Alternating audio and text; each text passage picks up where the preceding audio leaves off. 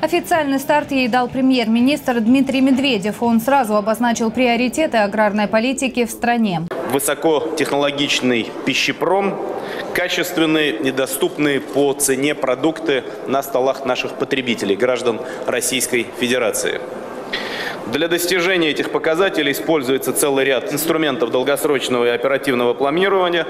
В текущем году на развитие сельского хозяйства из бюджета планируется направить более 230 миллиардов рублей, а именно 237 миллиардов рублей. Участие в «Золотой осени» принимает больше двух с половиной тысяч предприятий. Ключевой раздел выставки – экспозиция регионов. Один из крупнейших павильонов в Москву привез Краснодарский край. Делегацию возглавил губернатор Вениамин Кондратьев. По его словам, Кубань намерена потеснить импорт мяса птицы. Тем более, что сейчас этим продуктом производители края полностью обеспечивают региональный рынок. В продовольственную безопасность страны внес вклад и урожай зерновых почти 14 миллионов тонн. Но сейчас остро стоит вопрос в животноводстве. На Кубани стараются делать акцент именно на этой отрасли, рассказал Вениамин Кондратьев Дмитрию Медведеву.